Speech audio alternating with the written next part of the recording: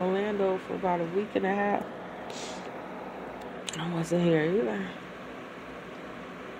Get down to South Carolina. It's first time ever in South Carolina, and I stayed overnight. Stayed overnight, and then we went down to Florida for a week. Came back up here. I did a lot between 2000. I said between 2002 into 2004 about midway through 2002 to the end of 2003, I was trying to be a rapper. And I do say trying, but I didn't try hard enough. Went to the studio a lot, talked to people a lot, wrote a lot of music, uh, went and saw some people. And then I was just like, okay, it's time to put in overdrive. I'm like, I have no focus. I'm so spent in so many areas. What do I do? And I was like, well, yeah, I know one thing. You ain't 16 no more. Your ass got to take care of yourself. And then I end up, you know, 2004, like October 2004. Where are you? It's like so funny. I'm in Bridgeport. No, you not. Like I fucking am. I'm literally right up the street, and I've been up the street from you for like the past six weeks. Every goddamn day from Monday to Friday for what? For six weeks, I was taking a train from Stamford to Bridgeport. And then I jump on what bus was that? Probably the number ten bus. That's the bus. Yep, that's the bus that used to go to Stratford. The number ten goes right to Woodland Road, and you would jump on that, or you would wait till it came back around and come back down to Bridgeport. If you were going downtown or the side effects or whatever literally catch the number 10 bus. And then I will take it. Or any bus stepping over to that side of the East End, over there by the entrance to get on at Lordship Boulevard, the I 95, right by the gas station.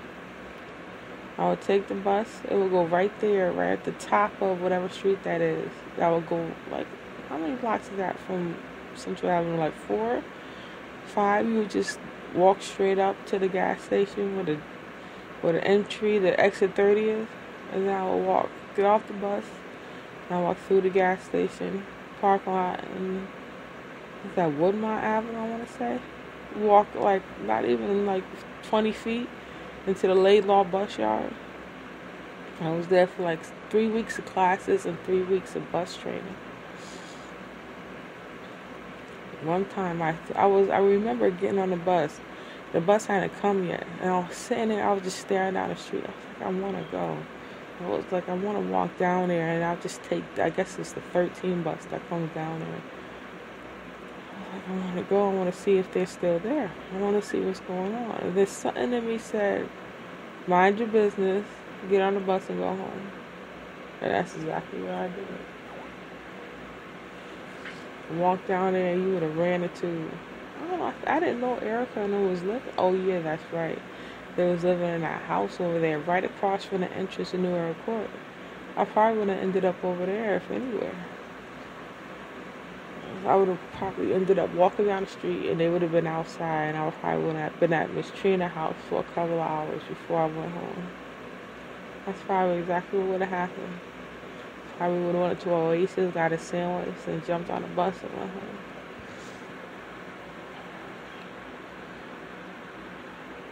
That place been there since what the nineties. We used to go there with my, on Saturdays and Sundays. My mom used to work at the bar at uh, Side Effects. We used to go there before she went to work and get sausage, egg, and cheese sandwiches. Or soft rolls, grab an OJ, and then go to side effects. Eat the sandwich, and then I think sometimes the kid would get on a bus and go to grandma's house to be with Will. If that didn't happen, we would end up going by Candy's house, and then Candy wasn't home. We would take a bus, go to grandma's house, and then my mom would come and get us after she got off of work. Sometimes that happened. Sometimes we would just stay there. But the kid never stayed for too long. I never remember him staying longer than he had to. Like I'm about to go go chill with Will. Jump on a bus and get a dollar fifty. take the bus downtown, transfer, and we just be out. Like, oh, I'm at grandma's house. He called the bar, be like, I'm at grandma's house, and that would be it.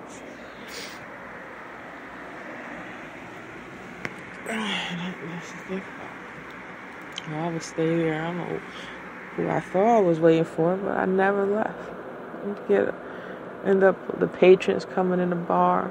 Sheila's door is here. Here's some money. Just pour money in my hand. Go get you some ice cream. Go play Pac-Man. Like, why am I the only one still here? I should have somewhere to go. So happy when I got my job at Wendy's. So fucking happy. I said, like, Mom, I gotta be to work at 2 o'clock. Why can't I stay at the house? Because they be drive-bys at the south end of Stratford. No, that I would don't. Don't nobody be shooting up Stratford like that. Like, I gotta be to work. Unless you giving me the car, there's no reason for me to come. Yes, it is. Like, even if you gotta stay here for an hour, you walk down the street to what's the name? Right, the bus stop is right there. Cash number 10. Go to the house, change your clothes. Wear the clothes you have on, I don't care. Change the clothes, go to work. I'll see you when I get off work. Alright. Get to Stratford, change the clothes, go to work. Get off of work at 8 o'clock, 9 o'clock, right before the store closes. You're only 16, 17. Steal some long. That wasn't gonna happen. Everybody and mom was taking the Frosties at the end of the day. Never got the Frosties. That never happened. Sometimes chili, sometimes potatoes, but the Frosties was always gone. Nuggets were gone too. You had to clean the salad bar. I hated cleaning the goddamn salad bar. Yeah, homework to do. I got PM Dawn to listen to. I'm not trying to clean the salad bar.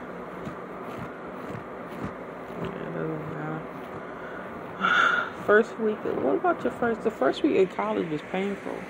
I still got pictures from the day before we left to go to school.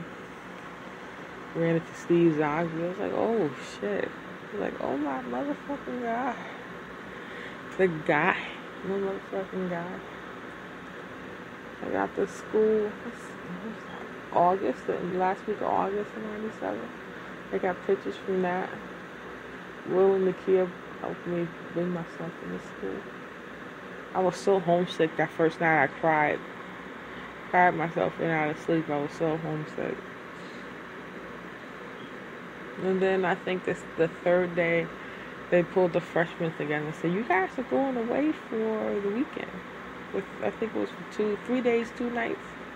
I said, We're going to the wilderness in Pennsylvania and uh, you're going to learn how to live without electricity so you can appreciate what you have more. And this is like an all girl school, it's mostly a minority all girl school in New Rochelle. All these girls is from the city. They from the Brooklyn, the Bronx, Queens, or they from like Jersey, Connecticut. I'm just like, uh, okay. Didn't have to pay anything, but they loaded us on his on two school buses. And we went there, and the second bus got into an accident. So I think a motorcycle had slid under one of the buses. So they ended up, they didn't even get to the place till like an hour and a half after we did. I remember that place. I remember the food being watered down because it was trying to spread it amongst people. The orange juice just tastes like water, like yellow water. The food didn't really have any taste to it. It was just enough to keep you full. I remember that first night they had a bonfire in this field. Like the the place was just about. They had this open field in front of the food the food house. It was about the size of like two or three football fields. But you could tell it was all woods. But they had like uprooted a bunch of trees about the size of three football fields. It was just an open area, and then was the rest of it around it was just woods and it was mad wild animals around there. And it was out there telling we had this big ass bonfire. The fire was probably almost the size of this room, maybe the size of my bed. Was the woods and then the flames, and then we were all around it, and they were telling stories. And then I remember when it was over, And the, the girls I did end up befriending, ended up being friends with them for years. And I remember we was like leaving a bonfire. Everybody was kind of jittery because they were putting the fire out. We were all in dark. The only light from where we was was like two football fields away coming from the food house. And then I remember somebody say like, you know, they want to scream and say bear or something so everybody get all hysteric. And that's exactly what happened. I remember walking really fast, but I was giggling with my friends like, oh my god, we gotta get back to our room. It was the only light around was a light from the stars and the moon coming down. I Remember somebody screamed bear. They just screamed it. And I remember breaking out into a full blown sprint, running as hard as I could toward the food house so I could follow the path to those little bunkers we were sleeping. I mean, I was in a full blown sprint at top speed. I was still pretty athletic then. I had only been out of being out of Bunnell for like two or three months. Still had that track, that volleyball, basketball track body that I wish I could have maintained.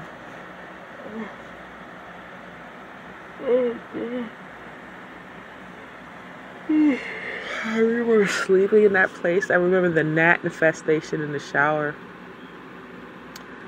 The shower is just like the shower stall was right by a window that's that like you couldn't close, and it was just a nest of gnats that swung right above the shower head. I remember uh, I don't know what that was. I remember the obstacle course we had to do that day. I think it was the second day. They had like a cargo net and they had a canoe. There was like this lake. The property sat on a lake, but it, you could tell it was like a valley with trees. Then the place got flooded, so you could see trees under the water, like trees was coming out from the base out of the water, and it was all over the place. And it was like I got in the canoe and with my roommate then and we had freaking canoed around and somebody said they saw a snake and then we went somebody's always doing something stupid what the fuck I remember zip line. That's the first time I ever zip line. They had a zip line up there. You had to climb up this tree or whatever. It had like a ladder on it. Climb all the way up. They tied me to this thing. The zip line was about maybe 100, 100 yards, 200 yards. It wasn't that long. But I remember flipping upside down when my feet was in the air.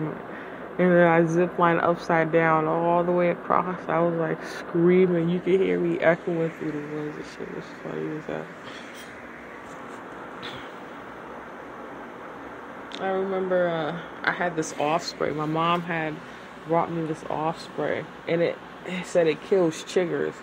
I, I had that off spray can for years. Literally, I had it as a souvenir before I finally threw it away like 10 years ago.